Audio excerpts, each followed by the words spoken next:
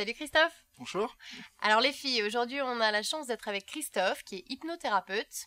Et ça tombe très bien Christophe puisqu'on a une question justement sur l'hypnose, c'est celle de Sophie, elle a 41 ans et elle est très attirée par l'hypnose, sauf qu'elle se demande comment choisir son hypnothérapeute, comment être sûre de trouver la bonne personne. Ben, bonjour Sophie. Alors comment trouver euh, la bonne personne? Vous savez généralement ben, l'hypnose déjà il faut avoir une connaissance à l'hypnose. Euh, le fait est que vous soyez euh, intéressé par l'hypnose c'est que déjà vous vous êtes intéressé mais surtout que vous en avez entendu parler. Alors qui c'est qui en parle? C'est tout simplement les personnes qui qui consultent, qui, consultent en hypnose. Maintenant y a-t-il un meilleur hypnothérapeute que autre, etc. Meilleur c'est un terme que. Par contre voilà il y a séduction entre voilà le patient et l'hypnothérapeute et c'est vrai que euh, le, le, le, enfin, je dirais la patiente ou le patient qui, en, qui a euh, réussi, euh, je dirais, à dépasser vent, vent, marée, montagne, et etc. Et surtout, grâce à l'hypnose, elle témoignera forcément de son hypnothérapeute.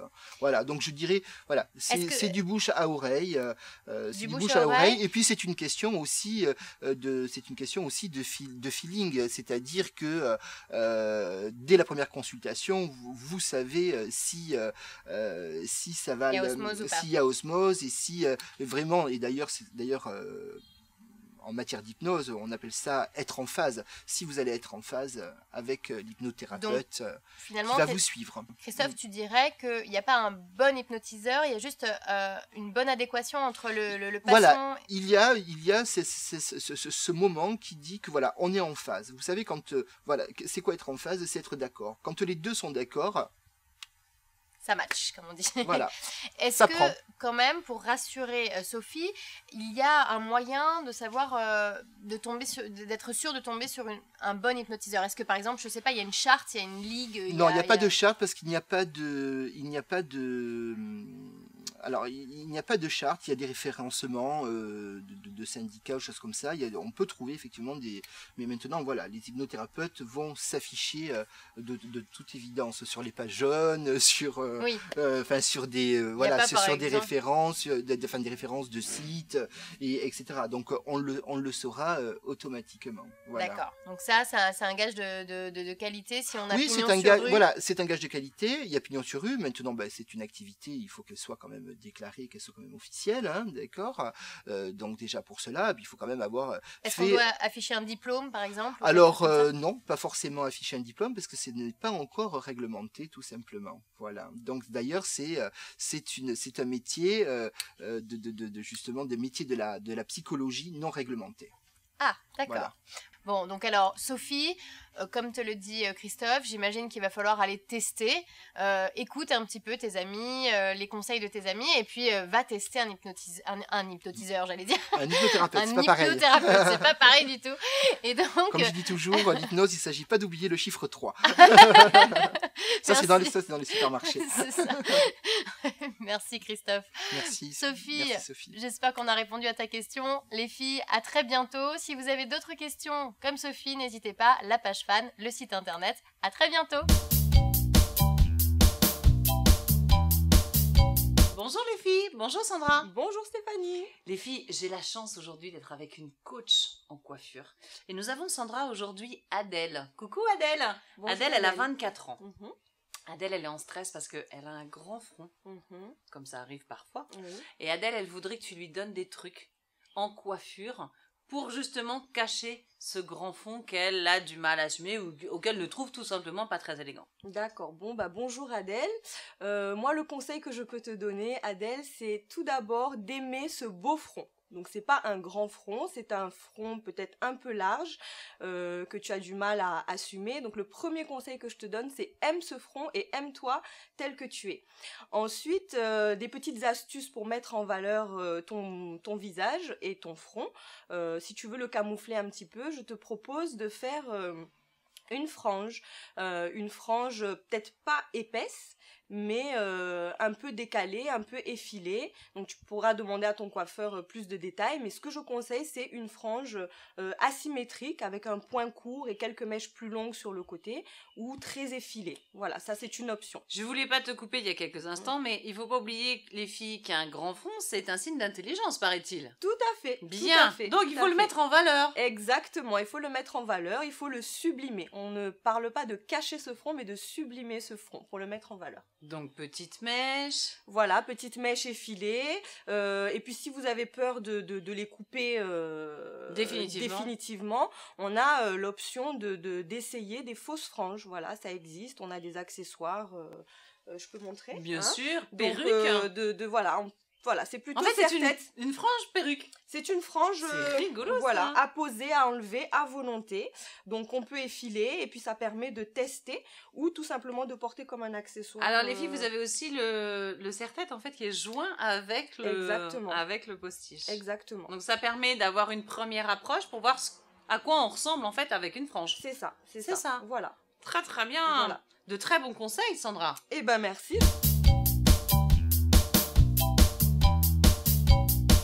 Alice. Bonjour. Salut les filles. Alors les filles, aujourd'hui on a la chance d'être avec Alice. Elle est créatrice design. Elle fait plein de choses super sympas, notamment de l'origami. Et d'ailleurs, on a une question à ce sujet puisque Clem vient d'avoir un petit bébé. Félicitations Clem. Et elle aimerait euh, fabriquer elle-même des suspensions pour la chambre de son bébé. Est-ce que tu as des idées à lui donner? Alors moi je propose euh, de réaliser des suspensions en origami. Là c'est un petit papillon. Oh, c'est trop mignon. En papier japonais. Donc c'est du papier spécial origami que je fais venir du Japon. Ah oui? Il y a un, papier spécial origami Oui. Parce que l'origami c'est japonais alors, si j'ai bien compris. Parce que moi j'y connais rien. alors raconte-nous comment on fait ça, par exemple. C'est dur à faire un papillon comme ça? Alors euh, non, c'est un origami niveau 2, hein, donc c'est très très rapide à faire. D'accord. Et on trouve des tutos sur internet euh, qui expliquent très très bien la technique. Et donc c'est du pliage oui, c'est du pliage. Si on doit expliquer euh, à quelqu'un qui ne connaît pas l'origami ce que c'est, c'est du pliage. Voilà, c'est un carré de papier qu'on plie de façon à donner une forme. Ok, donc là on a un joli petit papillon qui pourrait être très mignon dans une chambre de fille. Clem, si c'est une fille, ton bébé par exemple. Et euh, comment on fait une suspension pour chambre d'enfant Alors, là, avec une aiguille, on trouve le papier. Ouais. On passe un fil de nylon avec une petite perle juste là. Et hop, on a la suspension qui est, qui Ah, super. Donc en fait, là on a le papillon. Si on déplie au milieu, on fait un trou au milieu, on le replie, on passe un fil.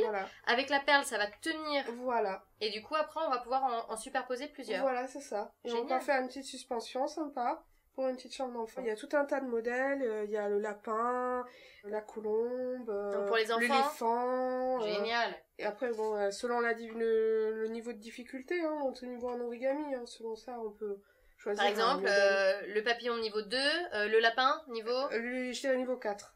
Bon, niveau 4, il faut déjà un petit ah peu plus, mieux s'y connaître. L'éléphant L'éléphant, alors c'est niveau 8. Alors là, oh, bon, pas d'éléphant, plein de papillons. C'est très sympa les papillons. Merci beaucoup Alice. bah voilà Clem, tu as tout ce qu'il te faut pour faire une suspension euh, très jolie pour la chambre de ton futur bébé. Les filles, si vous avez d'autres questions, n'hésitez pas, la page fan ou le site internet secretfille.tv.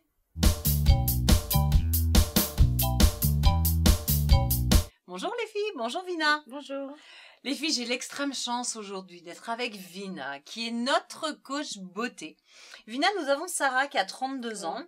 Bonjour Sarah. Des coucou à Sarah. Bonjour. Sarah, elle a 32 ans et en fait, euh, elle fait beaucoup la fête. Mhm. Et elle a besoin de trucs pour que elle puisse retrouver un teint sublime dès le matin quand t'as dormi une heure. Tu fais comment? Ben, on met un ampoule d'éclat. D'accord. Donc après sa douche. Oui, après sa douche. D'accord. On se démaquille. Oui. Euh, on met, on commence par son fond de teint. D'accord. Ah, elle remet du fond de teint? Bah correcteur. Mais si elle sort, si elle sort, on met son fond de teint. D'accord. Euh, c'est correcteur, euh, c'est dentisterne, c'est des correcteurs. D'accord. On met euh, ses poudres. D'accord. Donc ça c'est le cas où elle va ressortir. Voilà, ressortir dans la journée parce qu'on met toujours du fond de teint tous les jours. Tout à fait. Imagine, elle rentre à 4 heures du matin elle est un petit peu fatiguée. Elle mhm. dort une heure. Mhm. Comment est-ce qu'elle peut, comment est-ce qu'elle peut raviver le teint pour justement faire comme si elle avait passé une nuit entière à dormir? Oh ben là, moi je conseille l'ampoule coup d'éclat. D'accord, ok. Euh, Une ampoule coup d'éclat sur Ouais. l'ensemble du visage. Ouais. Oui. Et ensuite, elle- tu as d'autres trucs à donner à Sarah? Qu'est-ce qu'on peut- Pour moi, je mets une cuillère glacée euh, sur les yeux. Ah, Voilà un petit truc à noter les filles. Ouais. Qu'est-ce que tu dis hein Une cuillère glacée. Une cuillère Qu'on a mis au glacée. congélateur avant. D'accord. Sur les paupières. Sur les paupières Ouais. Pour dégonfler les Ah, paupières Ouais, D'accord. c'est bien ça. D'accord. T'as d'autres trucs à nous donner Euh... Oh, j'ai plein de trucs, ça me Eh vient. ben, Euh, ben, on peut prendre des sachets de thé aussi. Oui, les sachets de thé qu'on met dans le bac à légumes, Oui, c'est ça Oui, c'est ça. Ah oui, oui, Ouais. ça c'est... Ça, c'est bien Donc aussi. la cuillère fraîche, Ouais. glacée Ouais, ouais. sur les paupières. On a des masques Le aussi qu'on peut de thé. euh, mettre sur les yeux. Oui, tout à fait. Ouais, c'est vrai, c'est une bonne idée euh, ça. On, la met au, on le met au Au congélateur, congélateur? avant. D'accord. Et après, euh, on le pose sur les yeux. On D'accord. s'endort. D'accord. C'est reposant. Hello, the girl. Hello, Pascal. Hello, Stephanie. Pascal, you're manager of English Learning Center, okay? Um, we would like to know why the, pu- the pupil, why the children, when they come in the center, uh, all the teacher must um, must talk with the with the children in English, only in English. It's very important. Yes. Okay. Yes. Why?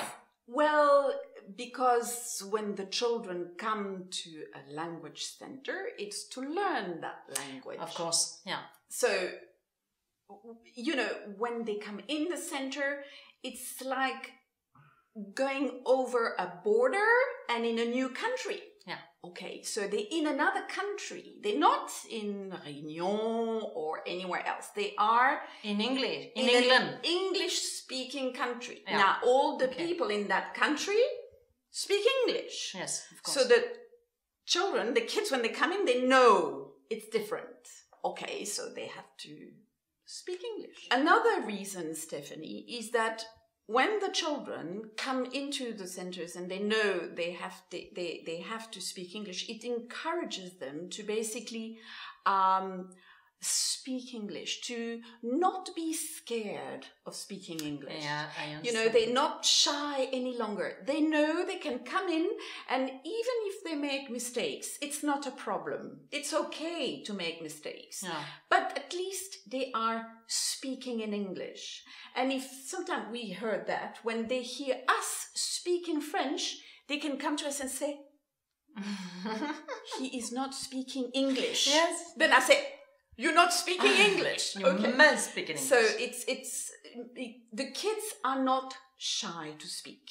You know, they need to be encouraged, and it starts from the door, inside the center, Yeah. all in English.